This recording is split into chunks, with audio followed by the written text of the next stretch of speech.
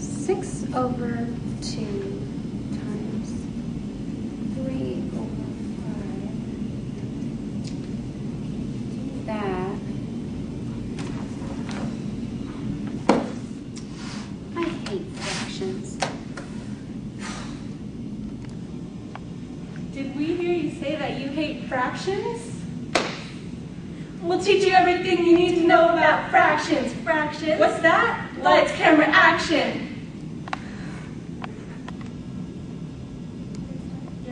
Uh, Okay, sorry. That was my bad. Should I just start? And we'll edit out later. If it's improper, you have to change it into a mixed number. I'll be the one to explain it. Improper is when the top number is bigger than the bottom.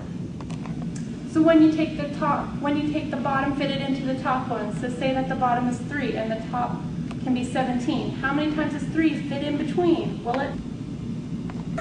So when you take the bottom, fit it into the top one. So say that the bottom is 3 and the top can be 17. How many times does 3 fit in between? Well, let's see. Five, take the five, write it down big on the line. With the two left over from the 17, you must now put it on top of the three. And wow, the mixed number is found. It's that easy to listen to the song and you believe me. Put your own numbers in the place of what I'm teaching. Word.